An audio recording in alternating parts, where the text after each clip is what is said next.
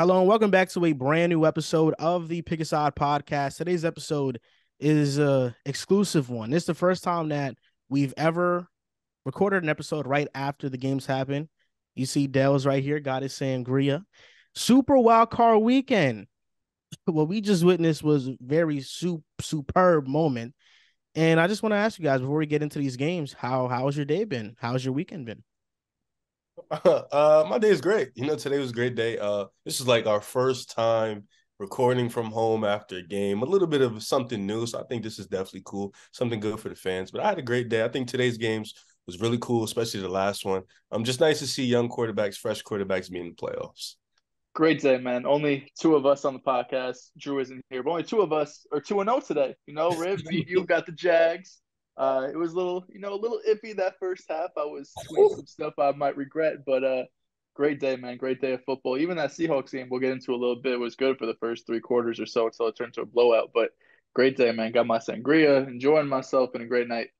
So I, I don't think I would be doing this podcast justice if we went in order of how the games went, you know, because we know the Seahawks and the Niners played first. But we just all finished watching the Jaguars and Chargers game, and I think that's what that's what everybody wants to hear us talk about. So let's start with them first. The Jaguars beat the Chargers 31 to 30. And what's funny about this game is that if you would have told me before it happened that the Jaguars would win 31 to 30, I would say, okay, you know, that sounds like a score that would happen. But the way that it happened, I wouldn't have believed anybody. Trevor Lawrence, four interceptions in the first half. You can say two of them weren't his fault. One was batted at the line. The second one was on, on a fourth down. And I, I, thought Doug Pederson probably should have just went for the field goal on, on that one. But first half, Trevor Lawrence, horrible. Second half, four touchdowns, comes to life. We saw that fourth and one play by Doug Pederson that he cooked up uh, to give it an 18 on the outside and that set them up perfectly in field goal range, a chip shot, and they end up winning the game. And my thoughts from from this game really is just, I'm not surprised because this just feels like how the Chargers would lose a game. It just, I, I'm not even shocked by it because the Chargers just lose games like this all the time. But also, it's over for Brandon Staley. Like he's he's not going to be the head coach. He I wouldn't be surprised if he gets fired tonight. And granted, his defense did collapse in the second half. I, I thought Justin Herbert had an underwhelming game by his standards. I, I thought Herbert, I was expecting more out of him. In, in in those drives at the end of the game where you need the Chargers to do something, he was unable to generate first downs. And for the entire game, Herbert wasn't phenomenal. He wasn't Justin Herbert and the allure attached to his name. I, it wasn't really there. I, I mean, the Chargers scored 17 or 20 points off of Trevor Lawrence's turnovers. It's not like Herbert was leading them down the field and scoring. And, and to me, I, I thought Herbert was kind of underwhelming. He was not only that, but he had an average depth of target around six, average yards per completion around four.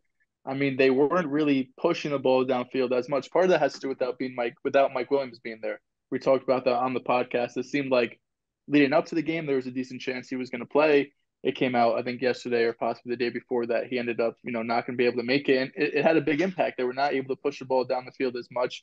Um, it felt like there were times where, you know, that deep threat was missing because you have guys like DeAndre Carter, who uh, I think ended up missing or going out, uh, you know, halfway through the game. Keenan Allen, more possession type guy. Same thing with Gerald Everett, who had a great game as well. But missing Mike Williams being your primary deep threat, the ability to stretch the field, um, you know, we saw that from Jacksonville. We saw that big play to Marvin Jones that got them that touchdown. Trevor Lawrence did a great job adjusting at the line of scrimmage. Big play over the top gets you that touchdown. It is important, especially when you're making that comeback, to be able to get those cheap shots. I call them cheap, but those quick plays down the field to get you points quick. When you're down 27 0 at halftime, you're going to have to get a couple of those to get back into that game. I mean, Trevor Lawrence, everyone calls him generational. He's a generational prospect. This is a generational game. This is the reason you draft Trevor Lawrence number one overall. This is the reason he has all of this hype because he could do stuff like this. I know in college, you know, he came up short every once in a while. I mean, he had one or two losses in college career, one of them being a college championship, but he did win a college championship too. We knew this is possible, right? His first time being in the playoffs, being this game, this type of victory is something that very few. Of, I mean, this is the first time any first time quarterback did in the playoffs. It's sensational. It's something a veteran type move from Trevor Lawrence in his first playoff game. I think for me, um, just like watching the game, you, you noticed the offense for the Chargers wasn't really impressive. You know, they didn't really make too much of a difference. I think the defense for the Chargers, especially in the first half, they just seemed like they were physically more imposing. They were a lot more aggressive with the Jaguars, and they just looked like they were punking them out there. You know, they they were making a lot of big plays. And you mentioned it; those interceptions, you know, you look at the grand scheme of the interceptions, you're going to say those were his fault. But if you really watch the game, two of them really weren't his fault. One of them was really bad. I think he was, he was, uh, one guy was coming off a drag and he just threw it. He didn't notice the cornerback was just sitting there. So, like, he had some bad interceptions, but I think, like, the Chargers, you know, the way the offense was moving, like you mentioned, Staley's gone. I think that's best case scenario. You wanted him okay. going So, but the offense just like, you you mentioned it. We thought this game would be a goodie. We thought this game would be a back and forth, but we didn't think they would go down 27 and then come back like that. I mean, the way the Jacksonville Jaguars just Doug Pederson continued to call the game the same way. He did not budge throughout the whole game. He made impressive play after impressive play. The way Trevor Lawrence bounced back in the second half, Travis Etienne, the receivers were making big time throws. I mean, this game like I and I remember even when I was in the Discord, they were down 30 to what 24 something like that. And I said, go for it. They called me stupid for saying to go for it, take the field goal. And then it works in the end. Like it was just such a such a great story for the Jaguars, but for the Chargers, man, for the defense to play so well in that first half and then just collapse like that in the in the second half and the offense not getting anything going, it sucks for Justin Herbert because this is like his first time there, and this is like the team. You know, this is a cursed team, so it really does suck for the Chargers. Yeah, and, and I was watching the game with my dad, and you know, even though the Jaguars were down, I was saying, "Listen, Dad, the Jaguars have a quarterback. His name is Trevor Lawrence, and he's damn good, and he's damn good, and he can come back, and he's very clutch." Uh, you know, there's been very few moments where he hasn't been that. You can count it on one hand. Well, you and, counted you know, them, but you tweeted you counted it out, actually. you counted them and tweeted it. Me, Photoshop, my bad. You know, I I, t- I told I told them I I replied to my tweet and I said, "Y'all got to stop photoshopping my tweets, man. Y'all got to stop photoshopping my crazy. tweets." Now it's funny because it um for one, I thought the Jaguars were dead in the water. You know, obviously I'm just, I was just joking there.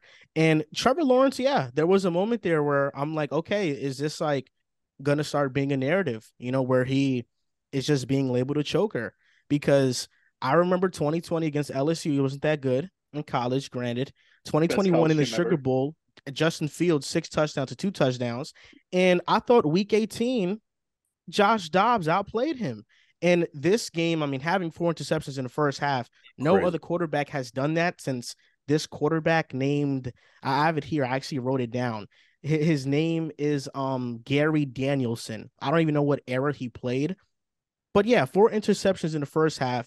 It was trending towards an, an all-time Trevor Lawrence bad moment.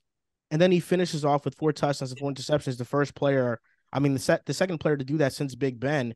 So yeah, I mean, there was definitely a moment there where I was like, man, Trevor Lawrence, is this is this the know. narrative now? we know, we know. And before we even go any further, shout out to my beautiful girlfriend Chelsea, who's with me right now for this layout we have right now. She was one to put us together. Um, but Trevor, Trevor, clap it up, clap it up. Yeah, I, I don't uh, have the applause sound with me. Trevor Lawrence had a, he had a great quote after the game. Uh, the reporter asked him like, "Oh, how'd you how'd you overcome this four interceptions? Like, how do you get your mind right?" He said, "We have no other choice. You know, this is the only other option we had. Right? He went out there. He's a guy who obviously coming into the NFL, being with Jacksonville, being with Urban Meyer. I mean, it, it doesn't get worse than that, especially coming from Clemson, which is one of the best run programs in college football. A team that he wasn't losing college games ever. Like he has two losses, I want to say, on his college resume. Like he had uh, he had an interview, I believe, before the season, maybe during the season, saying like how much of an adjustment it was coming from high school. He never lost a game. College lost one or two. Coming into the NFL, being the worst team last year, he was not used to losing. So the fact that he's able to have that season last year, completely throw that away. We've seen what he's doing in the second half of the season now bringing into the playoffs this year. And just talk about the charge a little bit. I tweeted out, in the long run, might be best case scenario. We talked about it on the show. We didn't think Brandon Staley would get fired, but if they lost this game in embarrassing fashion, I think most of us thought if they got blown out, not they blow a lead, there's a chance he gets fired. Coaches have got fired for a lot less than this. You know what I mean? Like they, I understand they got to the playoffs. They've been progressing each year, But you got Sean Payton. Sean Payton's out there on the market, and as much as the rumors to Denver and Arizona and all of this, you look at this Chargers team. If I'm Sean Payton, I want to go here. This is the team I want to go to. I have Justin Herbert. I don't have to worry about Russell Wilson fixing him, paying his contract. I don't have to worry about an injured Kyler Murray with Arizona. Houston is a mess, number one, uh, number two overall pick, but a mess.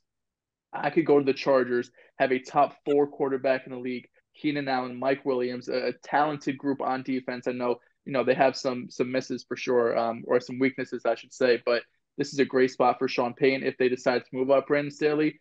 Um, you know, obviously being a somewhat new ownership ownership group in the Chargers, I, I almost expect it. The fact that you have a, a Super Bowl winning head coach out there being, you know, have a chance to go out and get him.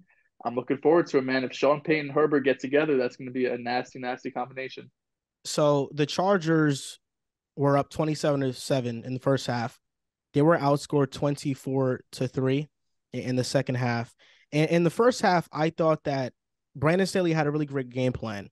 And had it not been for that collapse, we would be here praising his defensive game plan because they sat on a lot of the Jaguars' routes. They didn't expect, they didn't respect any deep threat. And because of that, we saw that the Jaguars' offense struggled. In the second half, that wasn't really the case.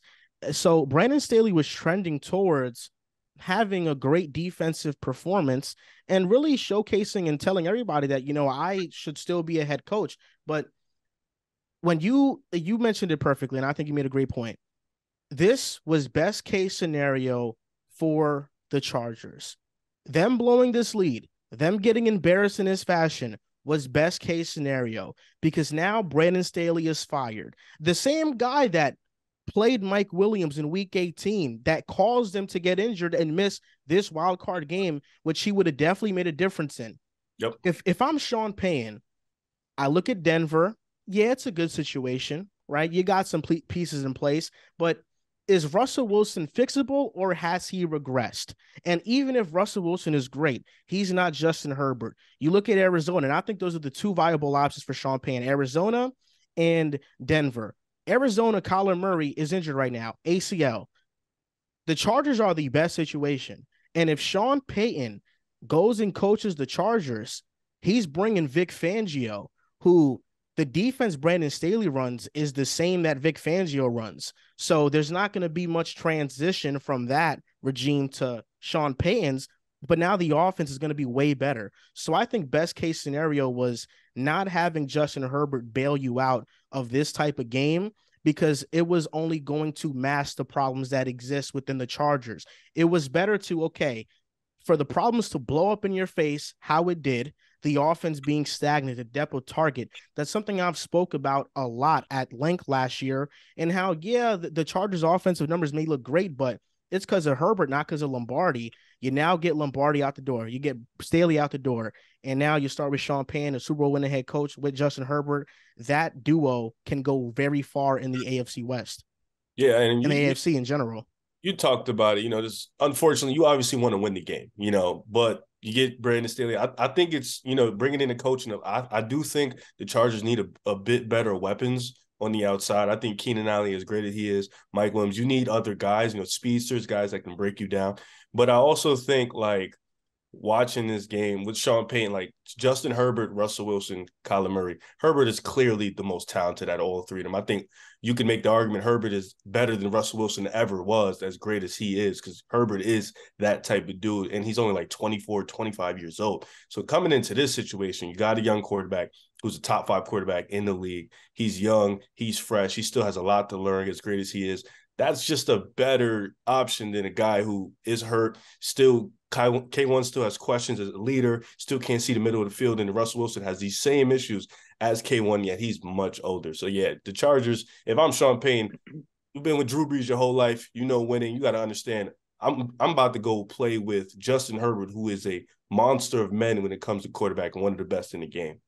And I just want to say, Chargers fans, it sounds rude that we say it's just a Chargers way to lose in this fashion. Trust me, when I had my 0 and 5 Jets rant, people in the comments were saying it's the Jets. They'll find a way to go 0 and 5 and blow it, right?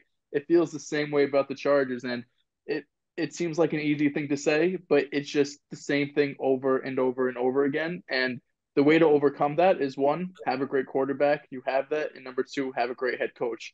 Brandon Staley, decent head coach. He doesn't seem like to be an elite type guy that's ever going to climb into, you know, that top five of the coaching of the head coaches in the league. Sean Payton, on the other hand, he's already been there, experienced, won the Super Bowl. If you want to get over this, the Chargers are just going to be the Chargers hump. You bring in Sean Payton to go up with Justin Herbert. I think that gets thrown out the window. And I think, you know, the, the thing with the Chargers, though, is that they lose in this fashion, but they've had great quarterbacks. Philip Rivers, Justin true. Herbert. I'm forgetting the quarterback, the old timer. Great players. Um, they Dan had, they had Fouts, for a couple of years. Yeah, yeah, Dan Fouts was an amazing quarterback. So you know they Herbert's have the best at all of them. Yeah, they have these pieces in place. These pieces in place, but they all time tight ends, all time running backs, Antonio like Gates, LT. There was a year yeah, they had bro. the first ranked offense and defense and didn't make the playoffs because of their special teams. yeah, exactly. Yeah, yeah, yeah. They had the 32nd ranked special teams and didn't make it. So you know the Chargers are used to things like this. ridiculous. But I think if you're a Jaguars fan, you are feeling very optimistic about this team moving forward. Uh, Evan oh, Engram yeah. continues to show out and he continues to dominate his mismatch, his mismatches, because he is a wide receiver playing tight end. And, and, this was everything you wanted to see. Stingy defense, the pass rush really came alive late in the game. And I will say, you know, despite a lot of the tweets that I ranted out off today, uh, the Charger, the I mean, the Jaguars made me a lot of money today. They made me a lot of money. I am crying. Yeah, because there's always there's always a bet with Joel. Always, like no always. matter what, there's always a bet. So today I placed Chargers minus two and a half spread, right? And when they were up 27 to 14, I had a cash out option. Uh, and the difference between the cash out on me winning the bet outright was like seven dollars, and I was like, you know what, I'm gonna cash out. Like I, I, I have a feeling the Chargers gonna blow this. And then I took the Jaguars money line to come back which was at plus 540 odds. Ooh. I took that, I won, and I took their spread at plus six and a half at plus 100 odds. I took that. And, um, you know, James Harden, he he got me some money today with the points and assist combo. So always happy for James Harden. He's a lock but for that. They they made me a lot of money today, man. The Jaguars, shout out to them because now I'm, I'm 90 bucks richer with, with their bets. Mm-hmm. But this was everything you wanted to see if you were a, a Jaguars fan and Chargers even though this is a tough loss, I think the future is definitely much brighter now that they lost this game. Transitioning onto the, the first game that happened in the Super Wild Card weekend. Talk about it. The 49ers and the Seattle Seahawks. Now, first half was very good. First half, it was I had a feel a little bit of a feeling. It was a feeling of an upset happening with the Seattle Seahawks. And then the second half, the 49ers just completely dominated the game defensively, offensively. And Brock Purdy, I mean, he continues to have these jaw dropping number performances. I wouldn't say performances because when you watch them, they're not jaw dropping. But, you know, give Brock Purdy some respect because this game, I believe he had 332 yards, 30. three touchdowns, and Riv, you're a big, big Brock Purdy fan. I don't think you've gotten out the phase of maybe it's just Kyle Shanahan being a mastermind. so, you know, let me know. Let me tell me what you saw from Brock Purdy. Um, you know, it's interesting because this week, this day especially, has been all about narrative and story. You know, with Geno Smith, Brock Purdy, Justin Herbert, Trevor Lawrence, a lot of narrative and stories behind it. Watching Brock Purdy, it was a good game you know, the numbers tell you it was amazing. It wasn't an amazing game. No. In the first half, Brock Purdy was missing some throws. He was missing guys. He was trying to make tight window throws that I just don't think he's ready to do. But I, I do think in the second half, you know, you as a like as a Niners fan, I feel like they didn't have any fear because when you have guys like CMC, Kittle, Deebo, and then on the defensive end, you got uh, Warner, you got Nick Bosa. When you have those guys, and the Seahawks, as good as they are, they don't really have those type of guys you don't ever really feel that worry. And I think throughout the game, especially in the second half, you saw the game changers started to make plays.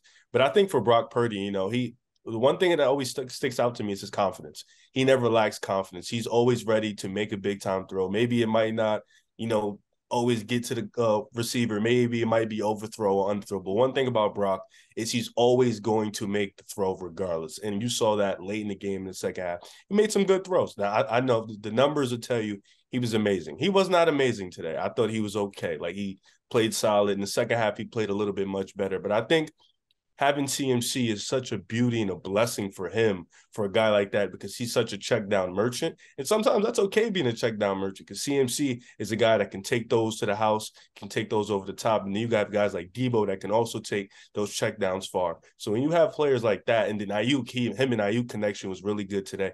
So I just thought he played okay. You know, I thought the Niners in the second mm-hmm. half definitely turned it up, but I thought a lot of good things for the Seahawks, especially DK. You know, he had a great game. He was putting Ward in hell, just absolutely dominating him. But the Niners are a scary team, you know, and Brock Purdy continues to play solid, sound football with the weapons like CMC, Kittle, and guys like Aiyuk and Deebo. I don't see a team outside of maybe the Eagles that can really stop this team from winning. This ended up being what 41-17, I think is the final score. 41 to um, 23.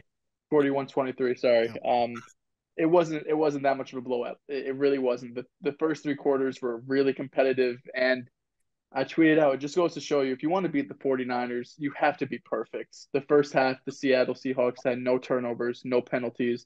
They were up two points, and the only reason they were up two points was because at the end of the first half, the 49ers defender had a bad um, unnecessary roughness penalty on the quarterback when uh, Geno was sliding down. They kicked the field goal, they go up two. Other than that, they probably would have been into halftime winning the game playing this 49ers team who just has pro bowlers everywhere, all pros everywhere, guys that could score a touchdown at any point in the field. Kittle, Deebo, CMC, it doesn't matter. Mitchell had a touchdown today. I mean, this team is insanely talented and we're going to go into this offseason with Brock Purdy and it's going to be interesting because you're going to have people who say, look what he did in the playoffs. I think they'll win another playoff game. I think at minimum they'll go to the NFC championship game. You're going to have people saying he took you to the NFC Championship game. He played in the system. And ultimately, that's what Shanahan wants. He wants a quarterback that plays in the system. We saw Purdy, you know, he, while he does obviously benefit from having Shanahan, having these weapons, he has good traits. He's decisive. For the most part, he could read defenses. He's pretty accurate. I mean, guys are open, but he's accurate. He's hitting them in strides. So it's easy to say that he's in the perfect situation because he is. But you also look at the positive traits, which is what this coaching staff's going to look at, what Shanahan's going to look at in the offseason. And when they go into training camp and OTAs next season, they're going to be putting that against Trey Lance, who might have this athletic ability, have this big arm, and all of this talent. But if he's not going to be able to play in the system like Brock Purdy does, that might be an issue. But just to talk about this game, well, does that hurt? Us, huh? Does that hurt you? Like, because you're a big. Uh, it hurts. Guy. It hurts me a little bit because I, I do think Trey Lance will succeed in the system, and I do think ultimately he gets a chance. You don't trade three first round picks and don't give the guy a chance. Um, but just talk about this game a little bit because I'm sure we'll have a, a bunch of 49ers offseason talk in the future. I love the Eagles, man. I love Jalen Hurts. That's going to be a dogfight. The Eagles and 49ers is going to be a dogfight. I do ultimately think that's going to be the NFC Championship game. Shanahan, Sirianni, that really might come down to the difference. You have Shanahan who's been in this position. He's been to Super Bowls. He obviously hasn't been able to get over that hump losing to Kansas City and obviously the Falcons game when he was an offensive coordinator. He's going to be looking at that and, and taking that, you know, as fuel to be able to get over that hump and get back to the Super Bowl and ultimately win that game. Um, so I, I, think the 49ers, this is just what we're expecting. It was a dominant fourth quarter, uh, especially once the Seahawks started to get you know, some penalties. Geno Smith had the turnover in the red zone. He had an interception once the game was over. But to beat this 49ers team, you're going to be damn near perfect. I think what's happening with Brock Purdy right now is interesting because it's unprecedented. We haven't seen somebody like Brock Purdy in a long time. A late round pick. I mean, he was the last pick in the draft, Mr. Irrelevant, come in and have so much success. And a lot of the stuff I'm about to read out here is a lot of pro Brock Purdy propaganda. So there are only four quarterbacks that have 330 yards, four touchdowns, zero interceptions in a uh, playoff game. That's Matt Ryan, Aaron Rodgers, Tom Brady. Well, no, not Tom Brady. It was Patrick Mahomes and Brock Purdy. That is elite company. And Brock Purdy is the youngest player in NFL postseason history to throw for 300 yards and three touchdowns. He surpassed Dan Marino, who was his childhood hero, doing so. And if at face value you show everybody these stats, they'll be like, yeah, there's no doubt Brock Purdy is legit. He's the guy. But then you look into the other ones where there was an average of 10 YAC yards per completion, 185 YAC yards total for the 49ers. And people were running wide open. And it's not a knock on Brock Purdy. Like, okay, he's hitting throws, he's doing his job. But at least for me, I look at Kyle Shanahan and think he's one of the best offensive coaches I've ever seen because this is now him like succeeding with a variety of different quarterbacks, different skill sets. We saw it with Robert Griffin III as a rookie. He had a historic rookie season. He always liked Kirk Cousins, but he didn't really get to coach him much. He goes to San Fran, gets Jimmy G. They go 5 and 0. He gets hurt. He succeeds with Nick Mullens. They have good stats. When I mean succeed, I don't I don't mean win, but they have good stats. CJ Beathard had good numbers. And people love to knock Trey Lance and criticize him heavily for that week one Bears game. But last year, when Trey Lance started, he had a 95 passer rating. I mean, Trey Lance wasn't bad. And now Brock Purdy succeeding at a similar level. And the narrative grows and this kind of aura around him, or whether or not he's the next coming of Tom Brady, is that's like now a thing with some people. And I, I do think that the locker room is responding to him in a different way that is going to be hard for Trey Lance to overcome. But ultimately, if, if the Niners want Trey Lance to be their guy, he's going to be their guy. And I think Kyle Shanahan knows he can succeed with him if he wants to. But Brock Purdy, I think it's an amazing story. I had the 49ers cakewalk to the NFC Championship. I mean, what? They're going to they beat the Seahawks, that's an easy win if they face the Vikings next game, I think that's going to be an easy win. It really doesn't matter. You know, the Niners are going to go to the NFC Championship, and I think it's going to be the Eagles and the Niners. And, and that's where I feel like Brock Purdy's flaws that kind of don't get talked about enough because they're not showing up on the stat sheet will get talked about, you know, because there were throws this game where he left it far too too far inside, you know, went to uh, Jauan Jennings, where he should have threw it on the outside. He left it too far far inside. It should have been an interception. It wasn't. You know, I get, I get, you know, that you're nitpicking, but that's what the playoffs are. And sometimes I do kind of stop myself from going a bit overboard with Brock Purdy because he's the last pick in the draft. You know, and Brock Purdy's the last pick in the draft. But when people start talking about him like he's the second coming of all time greats, then there has to be a line and there has to kind of be like, okay, you know, this is kind of getting out of hand because nobody's talking about him or putting expectations on him anymore like he's the last pick in the draft. You know, people are saying, no, now they can win the Super Bowl with Brock. And I don't disagree with that because I think he's playing at a level where that can definitely happen. And to talk about the Seahawks a little bit, because we didn't give them much love, they did get blown out. But Geno played a good game, man. Geno Smith against the top defense. And there was a report that came out that he's gonna stay with Seattle most likely, or probably play under the franchise tag.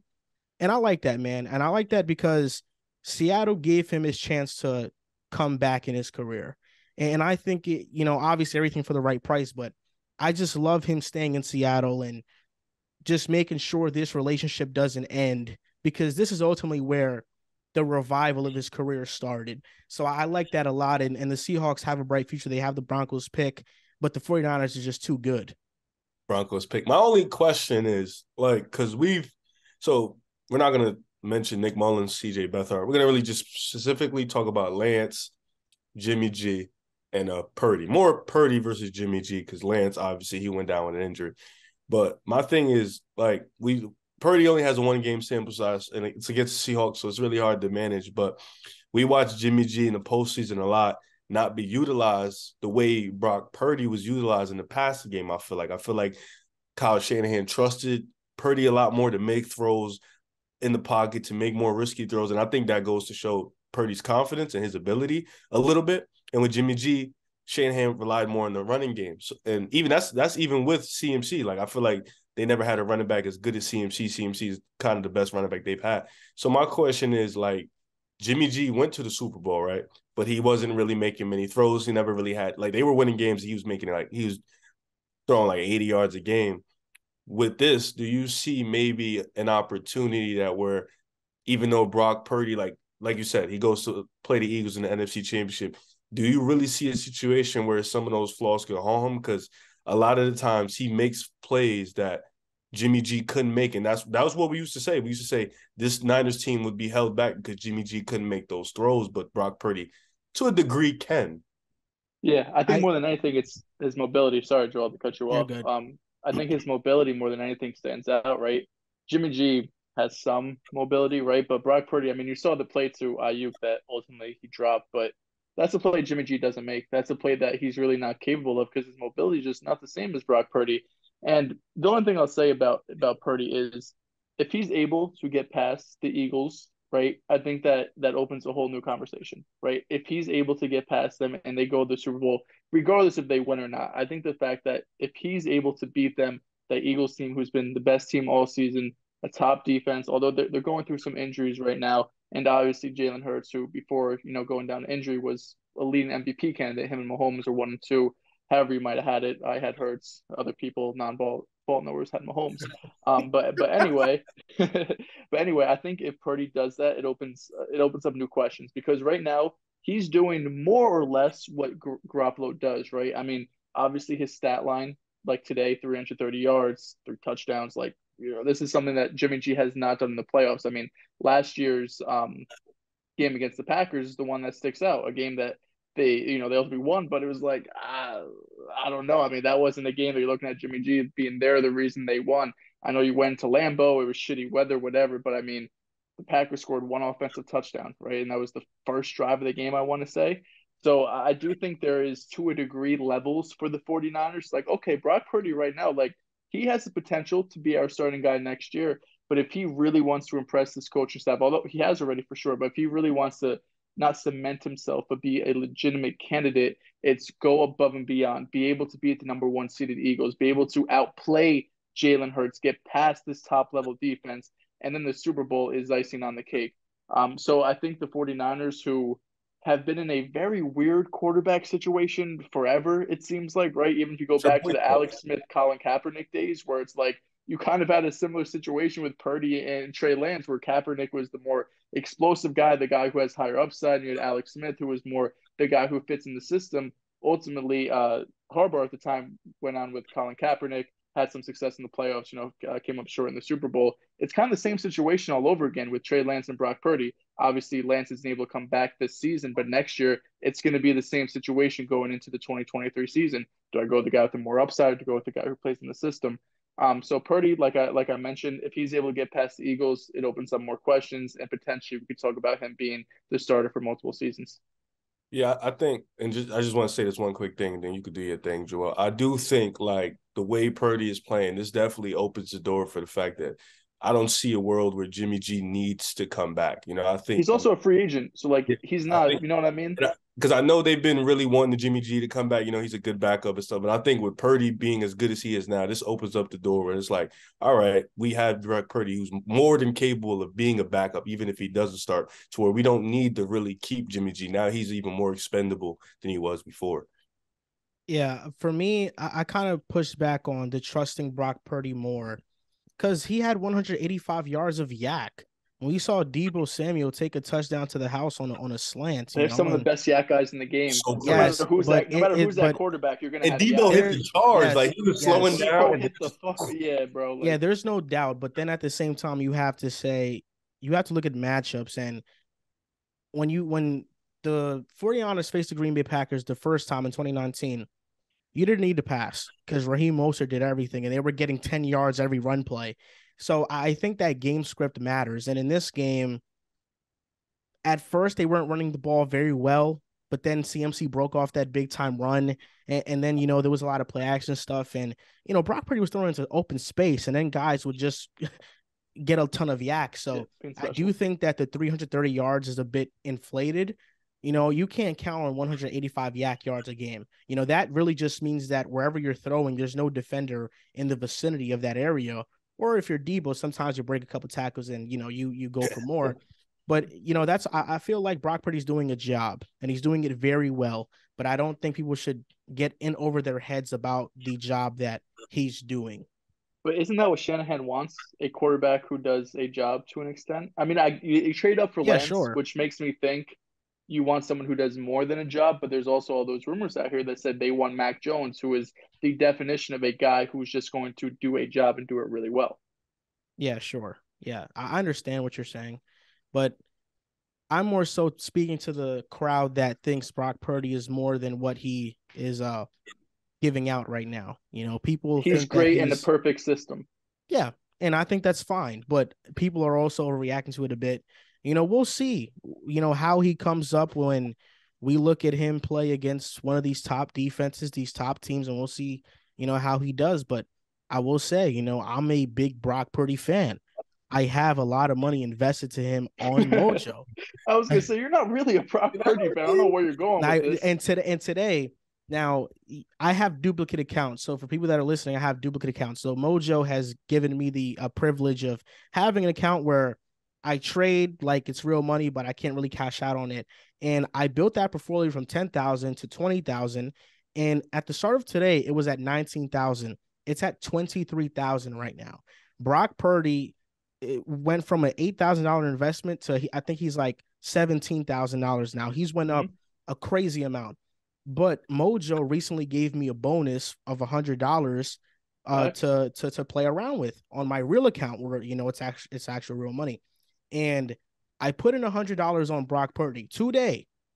He went up fifty percent. That one hundred dollars is at one hundred fifty four dollars. So, and I told you, Drew, I told all you guys to put money in Brock because, like I said, I think there's going to be a cakewalk to the NFC Championship. That's two good games right there. He had his first one. Now we'll see how good he does next game. But but yeah, you know this uh this is a really great opportunity for him, and you know a good way to also cash in on his value right now because yeah. he's at eight dollars, and that's not even starting quarterback level uh, oh in um investment. It's not. Yeah, I just and shout out Mojo. I uh sorry, real quick, cut you off. I did it on the show live. I invested that hundred twenty four dollars. I I looked at my Mojo account today. I'm up sixty dollars on Brock Purdy, just yeah. like that. You know, so they're also doing a special, right? Eight X for the the playoffs. I want to say it was Normally for Trevor two... Lawrence. oh, it's for Trevor. Okay, I got you. That hey, that would have got in the first bag. half. It was looking rough. That would have got yeah, that, yeah, facts. But you would have got. You know, Mojo ain't sent me my hundred dollars, so I'm gonna have to call my boy to, to uh, lock one. Talk but, to um, about that. Yeah, but um, nah, yeah, I think, but I think like the Niners, the beauty of the Niners is like the Niners, they'll Purdy will always be in a perfect situation. And I think sometimes it's like they'll always be at the top of the NFC for the most part. They'll always have the coach, the perfect offensive weapons. So it's like even though he may not be doing a little too much, because sometimes you need a quarterback to do a little bit too much to get you a W, the system in the Niners is so beautiful, and the guys that they build around, like you got Deebo, you got CMC, you got Kittle, and then you got Aiyuk. It's like that's a four-headed dragon. Not many teams in the NFC, especially the NFC. Like if this was the AFC, I get it. You need you need one of them guys, but in the NFC, you know, we got some guys, young guys that's not going to be at that level yet. And then we got all the old guys like Brady, Aaron Rodgers. They don't have the same teams anymore. So it's like Purdy may not have to do too much at the moment just because the NFC is so weak. He can just kind of run with the YAC yards, let the guys beat him, and then carry him to the Super Bowl. Now, if you were to describe what you witnessed today in one word, what would it be? What would the word be? Sensational. Generational. Sensational. Generational. I'm gonna go real simple and say wild. Wild specs. Yeah, it was, it was crazy game. I mean, the Seahawks game, whatever, kind of became a blow up, but this is one of the best playoff games we've ever seen. Jags that comeback 27-0. I mean, the first half was just like the Chargers were playing at a different pace. The Chargers were getting to the ball fast. Like everything was open for the Chargers nothing was going right for the Jaguars. The fact that they had such a crazy turnaround the second half, it really goes to show how great of a coach Doug Pederson is, how great Trevor Lawrence is they're going to get smoked by the Chiefs. They're going to lose to the Chiefs. um, but next year with Calvin Ridley, get some moves, you know, in the in free agency and the draft. Obviously, the future is very bright for the Jags. Yeah, I, I think like for me, like this year has been like so fun for me because I've watched so much more football than I've usually watched. And like, you know, today watching the games and being so invested, like I was so like just excited to see that go, like because I made the tweet. I'm like, yo, Jaguars gonna go on the generational run. Just watch it, and then they go do the shit, like watching it bar for bar how it happens. I was like, this storyline was made so perfectly to happen, and it just had to be on the Chargers. And I feel so bad that it had to be them because nothing ever. it's really crazy. never, never. I, I just hope tomorrow is just so much better or just as good, if not, because I know we got the Vikings and we got um the Vikings and the Giants. We got another game. I forgot. I think the Bills play tomorrow too. But that Vikings and the Giants game, I hope they give us a complete master class because we need it. We'll be back here tomorrow night recapping the three wild card games that are going to happen. Uh, I know that Dehls will be here. Drew will be here. Not sure what Riv's plans look like. I'm, no, I'll be here. I'm so here. he'll be here. Oh, so it'll here? be it'll be the four be of here. us tomorrow night recapping this game. You know, wish Drew would have been here to explain to us how Justin Herbert shut the doubters up with his all-time great performance. but yeah, you know, it was a very good wild card weekend. That's gonna do it. Make sure you guys like this video, and we'll be back here tomorrow.